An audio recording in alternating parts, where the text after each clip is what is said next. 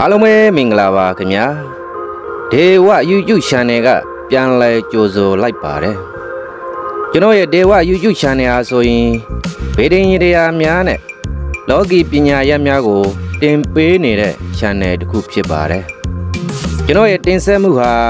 မိတ်ဆွေများအတွက်အကျိုးတစုံတရာရှိမယ်ဆိုရင် like ပုံမှန်များဝင်ရဲနိုင်သလို subscribe ဆိုတဲ့အနည်းရောက်စာတန်းကို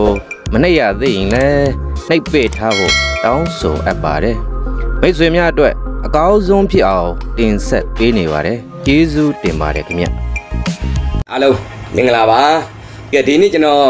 ပြောဖို့တည်ထားတာလေးကလက်ဝါးပေါ်ကမှဲ့တယ်အကြောင်းအဲ့တော့အနည်းနဲ့အများလက်ဝါးပေါ်မှာမှဲ့ဆိုတာရှိတတ်တယ်ဒီမှဲ့နဲ့ပတ်သက်တဲ့ဘေးရင်အဟောတွေလည်းဒါနိုင်ငံတကာမှာ လူမျိုးစုအလိုက်အကုန်လုံးနေရာဒေသအလိုက်ဟိုအဟောတွေလည်းမျိုးစုံရှိတယ်ပေါ့နော်အဲ့တော့တကူလုံးကအဟောတွေကဲအသာထားဒီနေ့ကကျွန်တော်လက်ဝါးပေါ်ကမှဲ့တွေနဲ့ပတ်သက်ပြီးတော့ဟိုဘုဒ္ဓတာလေးတစ်ခုပါဗျာအဲ့တော့လူမှာမှဲ့တွေအာမဲ့အနီတို့အစိမ်းတို့မဲ့အဆိုးတို့အချောက်တို့စသဖြင့်ရှိတတ်တယ်ဘယ်မဲ့ဆိုရင်အကျိုးပေးတယ်ဘယ်မဲ့ကတော့ဆိုးကျိုးဖြစ်တတ်တယ်ခိုက်တတ်တယ်ပေါ့စသဖြင့်ကျွန်တော်တို့အယူရှိကြတယ်ဒါလည်းတခါတည်းပြောပါမယ်အယံကရောအပြည့်အဝမယူကြပါနဲ့မယုံကြပါနဲ့ဟို လောကကြီးမှာကောင်းတဲ့အခြေအနေကြုံလာရင်လဲကိုကအဲ့ဒီကောင်းတဲ့အခြေအနေကိုအရာမီအသုံးချနိုင်မှာမှကို့အတွက်အကျိုးရှိမှာပါဆိုးတဲ့အခြေအနေကြုံလာရင်လဲအဲ့ဒါကိုငုတ်တုတ်ထိုင်လဲစင်းမခံမဲနဲ့ကိုယ့်ရဲ့ဉာဏ်ပညာဇွဲလုံးလာဝရိယနဲ့စူးစမ်းစိုက်ထုတ်ရင်ဒီအခက်အခဲအဆိုးအခိုက်ဆိုတာတွေလဲကြော်လွှားနိုင်မှာပါပဲเนาะဒါကြောင့်ဟိုဗေဒင်လက္ခဏာကိန်းနေဆိုတာကိုလဲအပြည့်အဝကြီးမယုံစေချင်ပါဘူးမိုးလေဝသဟောတယ်လို့ပေါ့ဗျာ မိုးသက်ထန်သွားရာကိန်းရှိသည်ရွာမှာပဲသူကတော့အနေနဲ့များရွာမှာပဲအဲရွာတဲ့အခါမှာကိုယ်ဒုက္ခမရအောင်ဘယ်လိုလုပ်မလဲအဲ့ဒါလို့ရွာတဲ့အခါမှာကိုယ့်အတွက်အကျိုးရှိသွားအောင်ဘယ်လိုလုပ်မလဲဆိုတာကတော့ကိုယ့်ပေါ်မှာမူတည်ပါတယ်ဗျနော်ဒါကြောင့်ဘယ်လိုဟောချက်တွေကိန်းခန်းတွေအဖြေတွေရလဒ်တွေဘယ်လိုပဲထွက်လာထွက်လာအဲ့ဒီဟောချက်ရလာကိုအဆိုးဖြစ်မသွားအောင်ရဲ့အကောင်းဆုံးဖြစ်ဖို့ရဲ့ကတော့ကျွန်တော်တို့ကိုယ်တိုင်စူးစမ်းယူရမှာပါနော် အဲ့တော့လက်ဝါးပေါ်မှာပါတဲ့မှဲ့ကတော့ဘာပဲပြစ်ပြစ်အဆိုးဘက်ကိုပဲအလေးတာပါတယ်အဲ့တော့လက်ဝါးပေါ်မှာမှဲ့ပါပြီဆိုရင်အဆိုးဘက်ကိုပဲအားတာပါတယ်ဘယ်နေရာမှာပဲပါပါပေါ့နော်အဲ့တော့ခြုံလိုက်ရင်ရေပုံကခြုံပြောရင်လက်ဝါးပေါ်မှာမှဲ့ပါရင်မကောင်းပါဘူးဒါဖြစ်ရင်အဲ့ဒီမှဲ့ကိုအာနိသင်ကိုပေါ့ပြက်ပြဲအောင်လုပ်လို့ရသလားဆိုတော့ ကျွန်တော်တို့ဘာမင်းသင်ကသင်ပေးသွားတဲ့နေတွေရှိပါတယ်ဟိုတချို့ကအနဲ့ထွင်ပလိုက်တယ်တို့ဆူးနဲ့ထွင်ပလိုက်တယ်တို့ဆိုပြီးလုပ်လို့ရှိတယ်အဲ့ဒါလို့လုပ်လို့ရှိရင်လက်ဝါးဘော်ကမှဲ့မြင်ကွင်းမှာပြောက်ရင်ပြောက်သွားမယ်သူ့အာနိသင်ကတော့မပြောက်နိုင်ပါဘူးเนาะဒါကြောင့်အဲ့ဒီမှဲ့ဆိုးတဲ့အာနိသင်ကိုဖြတ်တဲ့နီးလေးခြေဖြတ်တဲ့နီးလေးလဲကျွန်တော်ပြောပြပါမယ်ကဲနံပါတ်1ကတော့လက်ဝါးရဲ့ဘယ်နေရာမှာမှဲ့တွေပါခဲ့ရင် ဘလို့ဆိုးကျိုးဖြစ်တတ်တယ်ဆိုတော့ရေပုံကအဟောလေးပြောပါမယ်နံပါတ်1ကတော့ကျွန်တော်တို့ဒီလက်မရဲ့ဘေးမုတ်ဖောင်းနေတဲ့တောက်ကြကြုံလို့ခေါ်ပါတယ်အဲ့ဒီတောက်ကြကြုံပေါ်မှာမှဲ့ပါနေခဲ့ရင်သူကသွေးနဲ့ပတ်သက်သောမကောင်းတဲ့ရလိုက်ဆိုးကျိုးကြုံရတတ်ပါတယ်သွေးနဲ့ပတ်သက်တဲ့ယောဂါတို့သွေးနဲ့ပတ်သက်သောကူးဆက်ယောဂါတို့ အထူးသဖြင့်ဒီခေတ်ဒီကမှာအဲ့ကူးဆက်ယောဂါလိုဟာမျိုးပို့ပြီးသိထားပါလိမ့်မယ်ဒါလက်မရဲ့ဘေးပေါ့တောက်ကြကြုံပေါ့သူနဲ့နှွယ်လိုက်ရင်လက်မပေါ်မှာလည်းပါနေခဲ့ရင်လည်းအဲ့ဒါလေးသတိထားပါလိမ့်မယ်ဒါလက်မပေါ်မှာသွေးနဲ့ပတ်သက်တော့နောက်ကုသယောဂနဲ့ပတ်သက်တော့မကောင်းကျိုးဆိုးကျိုးဖြစ်နိုင်ရည်ရှိသည်ပေါ့ဗျာမဟုတ်ချဖြစ်မယ်မဆိုးလို့ပါဘူးနောက်စိတ်ဒိစာလည်းမဖြစ်ပါနဲ့နောက်တော့အချစ်ရင်းနဲ့ပတ်သက်လို့မေတ္တာရေးဟန်နဲ့ပတ်သက်လို့အနှောက်အယှက်ကြုံရတတ်ပါတယ် တောက်ကြကြိုးကုံပေါ်မှာမှဲ့ပါခဲ့ရင်မေတ္တာရေးဟန်နဲ့ပတ်သက်လို့အချစ်ရင်းနဲ့ပတ်သက်လို့အိမ်တော်ရင်းနဲ့ပတ်သက်လို့ဒါသည်ဆိုးကျိုးအခိုက်ပေါ်တတ်ပါတယ်တဲ့နောက်အဲ့ဒီတောက်ကြကြိုးကုံလို့ခေါ်တဲ့ဒီလက်မဘေးကဂျိုကုံလေးရဲ့အပေါ်ကဒီနေရာလေးပေါ့နော်ဒီလက်ညှိုးနဲ့လက်မကြားတဲ့ကအဲ့ဒါအင်္ဂါဂျိုကုံအဖို့လို့ခေါ်ပါတယ်အဲ့ဒီနေရာမှာကျတော့ဒါကဒီတတ္တိနဲ့ပတ်သက်တယ်ဗျလုတ်ရဲကန်ရဲတယ်ဆိုတော့စိတ် မာတယ်ဆိုတဲ့ဥစ္စာမျိုးပေါ့အဲ့တော့အဲ့ဒီအင်္ဂါကြိုကုံအဖိုးမှာမှဲ့ပါခဲ့ရင်တော့လူဟာစိတ်ဓာတ်ကြသလိုအားငယ်သလိုဘာကိုမှလှုပ်ချင်ကိုင်းတဲ့မရှိဆိုတာမျိုးဖြစ်တတ်ပါတယ်ဟိုဘာဖြစ်ဖြစ်မလှုပ်ရဲမကိုင်းရဲပေါ့ဗျာကြောက်တယ်ငါတို့မလှုပ်ချင်ဘူးမပါချင်ဘူးဆိုတာမျိုးဖြစ်တတ်တယ်ပေါ့နော်အဲ့ဒါအဲ့တော့အခုဒီမှာဆိုရင်ယူဇနာပန်းဖြူဖြူတဲ့လက်မအခြေလေးမှရှိပါတယ်တဲ့သွေးလေးပဲနာခံစားနေရပါတယ်တဲ့ ဟိုဒါတွေကမမှန်ရင်အကောင်းဆုံးပါပဲဗျာမမှန်ကြပါသေးနဲ့เนาะဒီနေ့ပြောတဲ့ဥစ္စာကြီးကဟိုဆိုးချိုးတွေကိုပြောရတာဖြစ်လို့ပါเนาะအဲ့တော့အခုအင်္ဂါကြိုးကိုအဖိုးဘော်ကမှဲ့အကြောင်းဆက်ပြောပါမယ်သူကဟိုစိတ်ဓာတ်ကြတယ်အားငယ်တယ်ဘာကိုမှလှုပ်ချင်ကြင်နေမရှိဘူးလူတော့မတိုးချင်ဘူးကိုယ့်အကိုအေးအေးဆေးလေးပဲနားအေးပါလေးနေချင်ပါတယ်ဆိုတာမျိုးဖြစ်တတ်တယ်ဒါအင်္ဂါကြိုးကိုအဖိုးဘော်ကမှဲ့ရဲ့အာနိသင်ပေါ့နော်နောက်တစ်ခုကတော့လက်ညှိုးရဲ့အောက်တက်တဲ့ ကြာသာလေးကြိုကုန်းလို့ခေါ်ပါတယ်လက်ညှိုးရဲ့အောက်တက်တဲ့အဲ့ဒီနေရာမှာများမှဲ့ပါခဲ့ရင်ဟောတဲ့အဲ့ဒါကကြတော့ကျွန်တော်တို့ဩဇာအာဏာယာရုဂုံချိန်နဲ့ပတ်သက်တဲ့အနောက်ရှက်ကြုံရတတ်ပါတယ်ကိုယ့်ရဲ့ယာရုဂုံချိန်ကိုထိခိုက်တာတို့ဩဇာအာဏာကိုထိခိုက်တာတို့ကိုယ့်မိသားစုဆွေမျိုးသားချင်းအပေါင်းအသင်းအဖွဲ့အစည်းပေါ်မှာကိုယ့်ဩဇာအာဏာမညောင်းတာတို့အဲ့ဒီဆိုးကျိုး ပေါ်ပေါက်တတ်ပါတယ်အထူးသဖြင့်ဝန်ထမ်းလိုပုံကိုယ်တွေယာရုရကန်ကြီးမားတဲ့ပုံကိုယ်တွေမှာအဲ့ဒါဒီယာရုဂုံချိန်တက်လန်းအနောက်ရှက်ဖြစ်တတ်တယ်ကိုယ့်လုပ်ငန်းယာရုမှာအထိကိဖြစ်တတ်ပါတယ်เนาะဒါလေးကနောက်တစ်ခုကတော့လက်ခလေအောက်လက်ခလေအောက်စနေကြုံလို့ခေါ်ပါတယ်အဲ့ဒါကကြတော့စနေကြုံပေါ်မှာမဲ့အမှတ်သားပါခဲ့ရင်ဘာသာကြီးနဲ့ပတ်သက်ပြီးတော့အနှောက်အယှက်ကြုံရတတ်ပါတယ် ဘာသာကြီးနဲ့ပတ်သက်ပြီးတော့ဥမာဒိဋ္ဌံကိစ္စတွေမအောင်မြင်တာတို့အလိုအတန်းကိစ္စလိုဟာမျိုးတွေအနှောက်အယှက်ကြုံရတာတို့ဘာသာကြီးနဲ့ပတ်သက်ပြီးတော့ကို့မှာဟိုအပြစ်တစုံတရာသင့်တာတို့အမှားအယွင်ကျူးလွန်တာတို့မိုင်းကျူးလွန်မိတာတို့ပေါ့နော်စသဖြင့်အဲ့ဒီဆိုးကျိုးမျိုးကြုံရတတ်ပါတယ်ဘာသာကြီးနဲ့ပတ်သက်လာရင်ဒါအနှောက်အယှက်ဖြစ်တတ်တယ်ပေါ့နော်ကိုယုံကြည်ကိုးကွယ်မှုနဲ့ပတ်သက်လာရင်အဲ့ဒါဟိုမပြင်းမတဲ့ပုံကိုယ်တွေကိုပြင်းမမိတာတို့မကျူးလွန်တဲ့ပုံကိုယ်တွေကိုကျူးလွန်မိတာတို့ဒါမျိုး အပြစ်ဆိုတာမျိုးတွေပေါ့ဗျာကဲနောက်တစ်ခုကလက်တကြွယ်အောက်ကလက်တကြွယ်အောက်တနင်္ဂနွေဂျိုကုန်းလို့ခေါ်ပါတယ်အဲ့ဒီတနင်္ဂနွေဂျိုကုန်းမှာမဲ့အမှတ်သားပါနေရင်ဟောတဲ့ကဲကိုလဝါကိုလည်းကြည့်ကြပါအောင်နော်တနင်္ဂနွေဂျိုကုန်းမှာလက်တကြွယ်အောက်မှာမဲ့အမှတ်သားပါနေခဲ့ရင်အဲ့ဒါကတော့နာမည်အဖြစ်ခံရတာပါတယ်ကိုကိုမဟုတ်မတရားတပုတ်လေးတွင်ပြောဆိုဆွဆွဲပုတ်ခတ် နာမည်ဖြစ်ဆိုတဲ့ဥစ္စာမျိုးပေါ့နော်အဲ့ဒါဒီတနင်္ဂနွေဂျိုကုံလို့ခေါ်တဲ့လက်တကြွယ်ရဲ့အောက်မှာမဲ့အမှတ်သားပါခဲ့ရင်ဖြစ်ပါတယ်ကဲနောက်တစ်ခုကလက်တန်းရဲ့အောက်ပုတ်တူးဂျိုကုံလို့ခေါ်ပါတယ်လက်တန်းရဲ့အောက်မှာများမဲ့အမှတ်သားပါခဲ့ရင်လက်တန်းရဲ့အောက်ကမှုန့်နေတဲ့ဂျိုကုံလေးမှာပေါ့နော်မဲ့အမှတ်သားပါခဲ့ရင်အဲ့ဒါကြတော့ခကြီးသွားလာရေးနဲ့ပတ်သက်လို့အနှောက်အယှက်လာကြုံရတတ်ပါတယ် နိုင်ငံခြားသွားမယ့်ကိစ္စစီစဉ်ထားတာအကြောင်းကြောင့်ကြောင့်ပြက်နေတယ်တို့ထင်ငေါ်နေတယ်တို့အာပြည်တွင်ခကြီးပဲဖြစ်ဖြစ်ခကြီးအနီးပဲဖြစ်ဖြစ်အဝေးပဲဖြစ်ဖြစ်ခကြီးအတူပဲဖြစ်ဖြစ်အရှေ့ပဲဖြစ်ဖြစ်အဲ့ဒါခကြီးနဲ့ပတ်သက်လာရင်အထက်ကောင်နှောက်ရက်ကြုံရတတ်ပါတယ်လမ်းသားလမ်းမဆက်သွယ်ရေးကိစ္စတွေတည်ယူဖို့ဆောင်ရေးကိစ္စတွေဟလာအထူးသဖြင့်ဟိုခကြီးသွားပြီးလှုပ်လှုပ်နေတဲ့မိတ်ဆွေများကုံတယ်တဲ့ကုံကူးတဲ့မိတ်ဆွေများမှာဒီလက်တန်းရဲ့အောက်တက်တဲ့ပုတ်ရူးကြိုကုန်မှာမဲ့အမှသာပါခဲ့ရင်အဲ့ဒါခကြီးနဲ့ပတ်သက်ပြီးတော့အနှောက်အယှက်အထက်ငေါကြုံ ရတတ်ပါတယ်နော်ဒီမှာဘယ်လက်မာတဲ့လက်တန်းအောက်မှာရှိပါတယ်တဲ့ဆိုတော့ကိုရဲလေးနော်အဲ့ဒါဥမာခကြီးသွားမဲ့အစီအစဉ်ကအကြောင်းကြောင့်အထက်ငေါတာတို့ချွတ်ချော်တာတို့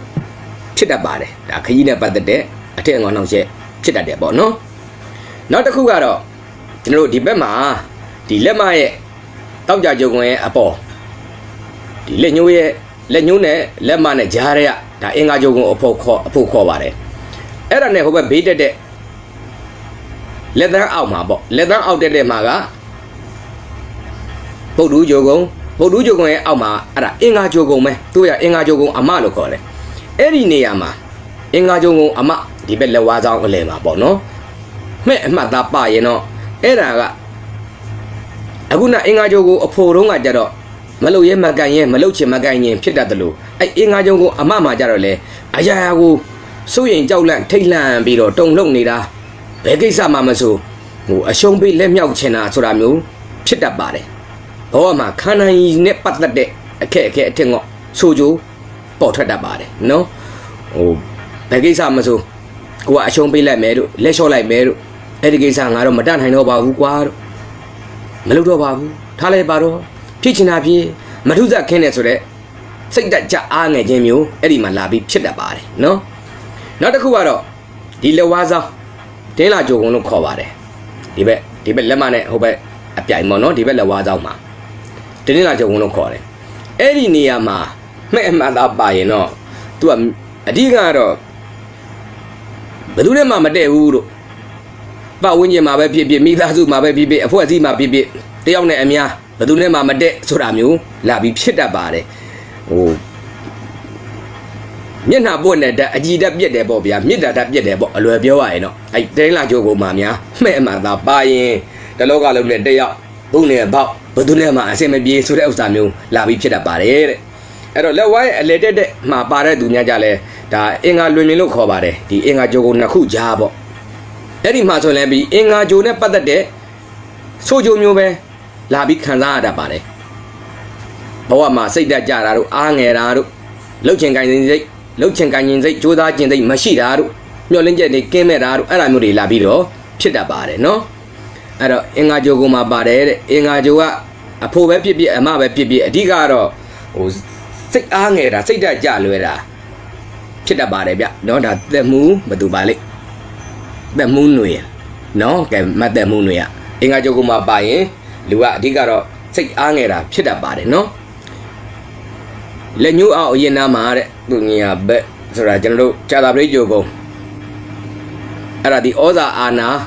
အရှိန်အဝါနဲ့ပတ်သက်တဲ့ဆိုကြိုးကိုလာကြုံတတ်ပါတယ်ဗျအဲ့ဒါဆီလဘာမုံရင်နော်အဲ့ဒါဘယ်ညာအားလုံးကတော့ဒီမဲ့မှာအတူတူပဲကျွန်တော်တို့ယူဆနိုင်ပါတယ်ဒါပေမဲ့ခုနကလည်းကျွန်တော်ပြောတယ်အဲ့ဒီအတွက်စိတ်တစလည်းမဖြစ်ပါနဲ့နော်ပေါ်စရာရှိပေါ်မှာပဲကိုယ့်ဘက်ကစူးစမ်းရရှိတယ်လဲစူးစမ်းမှာပဲပြောရမဲ့ရအသေးဗျာကိုကအရှင်ဗျာမဲ့ရတစ်ခါပဲပေါ်မယ်ကိုကလူပဲဥစ္စာ နော်အဲ့ဒီဆိုကြိုးမပြောက်မချင်းကိုစူးစမ်းမှာပေါ့အဲ့တော့ကိုယ့်ရဲ့ဇွဲလုံးလာဝရိယဉာဏ်ပညာဇွမ်းနဲ့လည်းပဲအဲ့ဒီဆိုကြိုးအခိုက်အညံ့ကိုကျွန်တော်တို့ကြော်လွှားအောင်စူးစမ်းမှာဖြစ်ပါတယ်နောက်တစ်ခုကတော့အဲ့ဒါလို့မဲ့ဘယ်နေရာမှာပဲပါပါဗျာမမီလိုက်တဲ့မိတ်ဆွေများရှေ့ကနေသာအစပြန်ကြည့်ပြီတော့နော်အဲ့ဒီဆိုကြိုးအာနိတင်ပြက်ပြဲအောင်ကဲဘယ်လိုလုပ်မလဲတဲ့နီးနှစ်သွဲကျွန်တော်ပြောပြပါမယ်နံပါတ်1ကတော့ ကိုယ့်လက်ချောင်းထိတ်လေးတွေကိုကြည့်ပါလက်ချောင်းထိတ်လေးတွေမှာလက်ပွေလက်ပွေတွေပါတယ်အဲ့ဒီလက်ပွေမှာခရုဘဘွေလို့ခေါ်တယ်ဘွေလည်းအမျိုးမျိုးရှိတယ်အရစ်လိုက်ကလေးခွေးနေတဲ့ဘွေခရုဘဘွေခေါ်ပါတယ်ဟိုအပြအတောက်မရှိဘူးတော့နာခောက်တာမရှိဘဲနဲ့အဲ့လိုအရစ်ကလေးပေါ့နော်အရစ်ကလေးအဲ့လိုစနစ်တကျအရစ်ကလေးခွေနေတဲ့ဘွေကိုဒါခရုဘဘွေလို့ခေါ်ပါတယ် အဲ့ဒီခရုဘဘွေနဲ့ပတ်သက်တဲ့ဘုဒ္ဓတာလေးလည်းပြောပါအောင်မယ်အဲ့ဒီဘွေပါရင်ပါသလောက်ကောင်းကျိုးချမ်းသာဖြစ်စေပါတယ်ဗျာအဲ့ဒါကတော့နမိတ်ကောင်းပါပဲအဲ့ဒီခရုဘဘွေဆိုတာလေးပါရင်ပါသလောက်ကောင်းတယ်သူကလည်းရှားတယ်ဗျတချို့ဆိုရင်တစ်ခုပဲပါတယ်လက်ဆယ်ချောင်းလုံးပါလေတစ်ခုပဲပါတယ်ရှားရှားပါပါတချို့နှစ်ခုပါတယ်တချို့သုံးခုပါတယ်တော်တော်ရှားတယ်လေးခုငါးခုတော်တော်ကိုရှားသွားပြီ တော်တော်များများလဲတစ်ခုမှကိုမပါတာတွေလဲရာခဏုံများတယ်ဗျအဲ့တော့နံပါတ်1ကတော့အဲ့ဒီခရုပတ်ပွေတစ်ခုပါရင်ပါသလောက်ဘဝမှာဟိုတက်တောင့်တက်တာနဲ့ပင်မန်းကြိုနဲ့မယ်ပေါ့ဗျာစူးစားကြိုအားထုတ်အကြိုနတ်ပါတယ်ကောင်းကျိုးချမ်းသာကိုပြတာပါကဲအဲ့တော့လက်ဝါးလေးကိုလည်းဟိုလက်ပွေလေးလည်းစစ်ကြည့်ကြအောင်ရုပ်တရက်ဒီတိုင်းကြည့်လို့မမြင်ပေါင်နာမုံတော်ဟာလေးမြေပြူးမုံတော်ဟာလေးအဲ့လက်ပွေပေါ်ဖြူလိုက်အဲ့ဒါဆိုလက်ပွေအထင်ကနေပေါ်လာပါလိမ့်မယ်နော် အဲ့တော့အဲ့ဒီခရုပတ်ပွေသည်ကောင်းကျိုးချမ်းသာကိုတဘောကိုဆောင်းပါတယ်တခုပါရင်ပါသလောက်ဘဝမှာငြိမ်းချမ်းသက်သာခြင်းပင်မအကျိုးနဲ့ခြင်းအကျိုးခံစားပါမယ်နှစ်ခုပါရင်ပို့ပြီးတော့အကျိုးထူးတယ်သုံးခုပါရင်ယာရုဂုံရှိန်တို့စီးစိမ်ဩဇာအာနာတို့အတွက်ပို့ပြီးတော့ထောက်ကူပြုပါတယ်လေးခုပို့ကောင်းတယ်ဗျာနိုင်ငံအဆင့်အာတတိဖြစ်တာတို့နိုင်ငံကျော်ပုဂ္ဂိုလ် နော်နုပညာတို့အားကစားတို့စသဖြင့်အခုဘာသာရပ်မှာထွန်းပေါက်တာတို့ဖြစ်နိုင်တာပေါ့ငါးခုကနေအထက်ပါရင်ဟောတဲ့တချို့မိတ်ဆွေကြလည်းအမလီပေါ်တယ်ဗျာကျွန်တော်ဆိုတော့တစ်ခုပဲပါတယ်အဲ့တော့တေမတက်လဲစူးစမ်းရတယ်ပေါ့ဗျာတခုဆိုရင်ဆိုတော့ပေါ့နော်တော်တော်စူးစမ်းရပါတယ်တချို့မိတ်ဆွေများလည်းတစ်ခုမှတော့မပါရလဲရှိတတ်တယ်ကဲတချို့ကြတော့ပေါ်လိုက်တာ၅ခု၅ခုကနေအထက်ပါရင်တော့အရန်ကိုဘဝမှာ တက်တောင့်တက်တာငြိမ်းချမ်းလွန်းပါတယ်တဲ့စီစိန်ချမ်းသာဒုက္ခကိုထူးထူးခြားခြားခံစားရပါလိမ့်မယ်တဲ့ဒါကြောင့်အဲ့ဒီခရုပတ်ပွေ၅ခုကနေအထက်ပါရင်တော့ဘဝမှာဘာသာရေးနဲ့အယုဒ္ဓဝရတဲ့သူတွေဖြစ်ဖို့လမ်းများပါတယ်ခင်ဗျာယောက်ျားလေးဆိုလဲဆရာတော်တန်ဃာတော်ကြီးတွေဖြစ်နေဘဝမှာဟိုငြိမ်းချမ်းချမ်းနဲ့เนาะတရားအထောက်ရတတ်တယ်အမျိုးသမီးဆိုရင်လဲသီလရှင်တို့ယောဂီတို့စသဖြင့်အလုံးနိစ္စတယ်ပေါ့နော်အဲ့ဒါခရုပတ်ပွေ၅ခုကနေအထက်ပါရင်ပေါ့နော် ငယ်ဒီမဲ့ဒေါ်တင်မျိုးခိုင်နဲ့ခရုပတ်ပွေဘယ်လက်မှာ၄ချောင်းညာလက်မှာတစ်ချောင်း၅ခုဆိုရင်တော့ဒါဘာသာကြီးနဲ့အလုံးနိစ္စပါတယ်ဘဝမှာဘယ်ကိစ္စအခက်အခဲပဲကြုံကြုံပေါ့နော်ကိုကကိုတရားလေးနဲ့ဓမ္မလေးနဲ့ဖြည့်သိမ့်ပြီးတော့ငြိမ်းချမ်းအောင်အေးချမ်းအောင်လည်းနေတတ်မယ်အဲကိုပါဝဉ္ဉင်ကိုလည်းငြိမ်းချမ်းစေသောအကြည်ဓာတ်ကိုဖြန့်ပြနိုင်တဲ့ပုဂ္ဂိုလ်ဖြစ်နိုင်ပါတယ်တဲ့ဒါဘီယုပပွေနောက်ဒီမှာဝဒီနွယ်ခုနှစ်ခုတဲ့အမလေးနောက်ဆန်း ဆန်းဆန်းဝင်ကိုခုတဲ့နော်ဆိုလို့ရှိရင်တော့ဒါဟိုအလွန်ကိုဘဝမှာကိုယ်တိုင်လည်းငြိမ်းချမ်းပတ်ဝန်းကျင်မိသားစုကိုလည်းငြိမ်းချမ်းမှုကိုပေးစွမ်းနိုင်မဲ့အမှတ်သားဖြစ်ပါတယ်ဗျာအဲ့ခရုပပွေငါးခုကနေအထက်ပါခဲ့တဲ့မိတ်ဆွေများကပေါ့နော်အဲ့တော့အခုနလက်ဝမ်းပေါ်ကမှဲ့ပါခဲ့ရင်ကြုံရတတ်တဲ့ဆိုးကျိုးနဲ့ခုနလက်ပွေရဲ့ကောင်းကျိုးဒီလိုနှစ်ခုပေါင်းအောင်လက်ဝမ်းပြင်ရဲ့ဘယ်နေရာမှာပဲဖြစ်ဖြစ် မဲ့အမှတ်သားပါခဲ့ရင်အခုနခရုဘပွေနဲ့ပုတ်ပြီးတော့ဆူတောင်းခြင်းအပြင်အဲ့ဒီမဲ့ရဲ့ဆိုးကျိုးအာနိသင်ပြက်ပြဲရော့ပါစေပါလိမ့်မယ်ခင်ဗျာလက်ဝါးဘောကမဲ့ရဲ့မကောင်းသောအာနိသင်ပြက်ပြဲဖို့အတွက်ဆိုရင်အခုနခရုဘပွေခရုဘပွေကအဲ့ခရုဘပွေလေးနဲ့ပုတ်ပြီးတော့ဆူတောင်းမှာတတိယတဲ့အခါဟိုအားနေတဲ့အခါ စသဖြင့်ပေါ့ကားစီးနဲ့တတိယရင်ဒါလေးအဲ့ဒါနဲ့ပို့ပြီးတော့ဒီနှစ်ရဲ့အာနိသင်ပြက်ပြက်သွားပါစေလို့ဆုတောင်းနိုင်ပါတယ်ဒါဒီဟိုအလွယ်ဆောင်ရွက်နိုင်တဲ့နီလေးဖြစ်ပါတယ်မဲ့ရဲ့ဆိုကြအာနိသင်ကိုနော်လဝဘောကမဲ့ကအမြဲပြောင်းနေတဲ့ဆရာတဲ့နည်းနည်းတစ်ခါပြောင်းပါတယ်တဲ့ဘာကြောင့်မှလဲတဲ့အဲ့လိုပြောင်းတယ်လို့သူ့ရဲ့ဟိုဆိုကြအာနိသင်ကလည်းပြောင်းနေတတ်တယ်ပေါ့မတ်ဆွေဆွေအောင်ကြီးနော်ဒါလားတော့ဒီမဲ့လင်းလင်းတခုမှမပါဘူးဆိုတော့ခရူဘတ်ကိုပြောတာထင်ပါတယ်ဗျနော်အဲ့တော့ မပိုင်တော့လဲမပါဗရာပေါ့ဗျာကိုစူးစမ်းမှာပေါ့နော်ဟလာဟိုကိုပါပါလာတဲ့ကံနဲ့တော့လဲအခုလက်ရှိစူးစမ်းတဲ့ကံကိုအားပြုရမှာပေါ့နော်အဲ့ဒါနောက်ဒီမဲ့ right like thank you တဲ့ဥယင်ထွေးတဲ့ god တဲ့အဲရဲလင်းတောင်းတဲ့ဆရာကစမ်းပွင့်နေတယ်တဲ့အမှန်တော့ဗျာဟိုကံကြောင့်စမ်းပွင့်နေဆိုတာချင်းတဲ့ကျွန်တော်တို့ စမ်းပွင့်တယ်ပဲပြောပြောမြတ်တတ်ပဲပြောပြောကိုယ့်ဘက်ကတော့စူးစမ်းဖို့ကတော့အရေးကြီးဆုံးပါပဲဗျနော်အဲ့ဒါဆိုမို့သူလေးခုပါတယ်တဲ့ဒါခရုဘဘွေကိုပြောတာထင်ပါတယ်အဲ့ဘွေရဟိုပါပေါ့နော်အထင်းငေါမရှိဘဲနဲ့